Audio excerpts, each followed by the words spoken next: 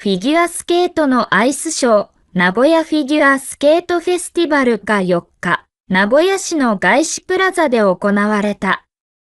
世界王者の宇野昌磨25、トヨタ自動車は19-20、20-21シーズンのショートプログラム SP 曲グレートスピリットを熱演した。4回転トーループを着氷するなど、ジャンプがキレキレ。アンコールでは今季のフリー曲 G 戦場のアリアを披露し、観客を魅了した。昨年は GP シリーズンで2連勝し、GP ファイナルを初制覇。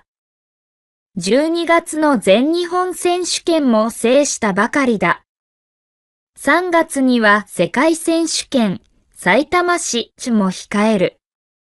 昨年はすごく大きな年となりました。これからも自分にできることを精一杯やりたいと思います、と意気込んだ。